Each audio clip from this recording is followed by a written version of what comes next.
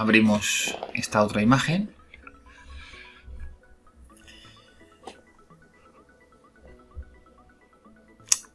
Y bueno, primero le aplicamos lo básico y luego vemos algo nuevo, ¿vale? Lo voy a aplicar así rápidamente porque ya en, vídeos anteriores ya hemos visto un poquito esto, ¿vale?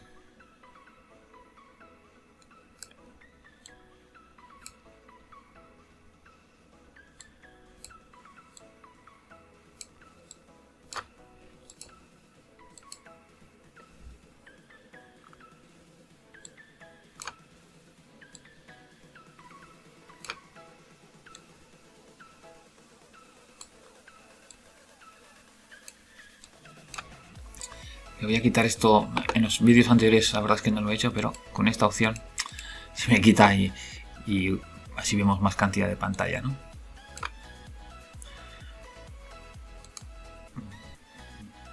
Vale, le aplicamos un poquito la S para las curvas.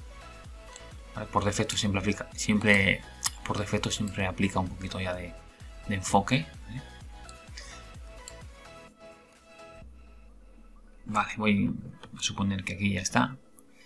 Aquí tenemos una cosa nueva, bueno, una herramienta nueva, la degradación de color, que me permite pues tocar la sombra, los medios tonos y las, y las iluminaciones, ¿no?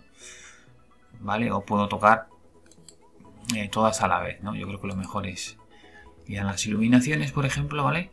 Y le podemos aplicar, pues... Vale, voy a hacer un poquito a tope, ¿vale? ¿Veis cómo aparece el color amarillo?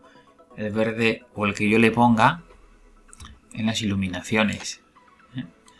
En este caso le quiero poner un poco amarillo, pero claro, no un amarillo súper saturado las iluminaciones, sino simplemente un poquito de amarillo. Le podemos quitar el ojo. Le aplica un tono sutil de amarillo a las iluminaciones, ¿no? Porque todas, en principio, las iluminaciones del sol siempre son un poquito más amarillentas. ¿eh? Iría a las sombras y le voy a aplicar un poquito de blue, de azul, ¿no? Porque las sombras suelen ser siempre más frías, ¿no? un poquito, ¿eh? le podemos quitar. Estas son las dos cosas que hemos hecho, ¿vale? Son pequeños toques sutiles, pero que hacen que se que quede mejor, ¿no? Y a los medios tonos, pues igual no hay que hacer nada, o igual depende si tiene alguna dominancia, pues se podría hacer algo. Yo en este caso pues, lo, lo voy a dejar sin, tocar nada. Simplemente le he tocado entonces un poquito de amarillo a las iluminaciones y un poco de azul a las sombras. Y esto no sé, me parece un poquito pobre, un amarillo un poco sin fuerza. Vamos a darle un poquito de fuerza a este amarillo, ¿no? Vamos a bajar un poco el tamaño, en este caso. Escogemos esto, lo voy a poner en cero. Vale, y ahora le damos un poquito de, más de amarillito, ¿no? Que coja un poco de fuerza, ¿no? Este, este campo, ¿no? Fijaos que frío estaba, ¿no? Y así también le hemos cogido, ¿no? ¿Podemos coger todo el cielo? Bueno, pues podemos probar a ver si coger todo el cielo y darle algo más de azul, ¿no? Hacemos un pincel nuevo, con cuidado de no coger los árboles, ¿vale? No os preocupéis porque se ponga amarillo ahora, porque es porque eh, coge los valores pues, que teníamos antes, ya, que no le hemos quitado, ¿no? Ahora le quitamos no tiene nada y a ver un poquito ¿eh? más azulito el cielo. Bueno, más blues en este caso, ¿eh? Depende de lo que, lo que quisiéramos. Vamos a quitarle el ojo, a ver. Le da un poquito más de fuerza, ¿vale? Si no quisiera ese color lo pongo en cero. Y yo podría coger, ¿vale? En vez de ir siempre, porque hasta ahora igual hemos tocado solo desde aquí los colores, ¿no? Abajo del todo me pone la opción color y le digo, bueno, no quiero, antes cogía un blue, ¿no? Sino que quiero más bien un, cian, ¿vale?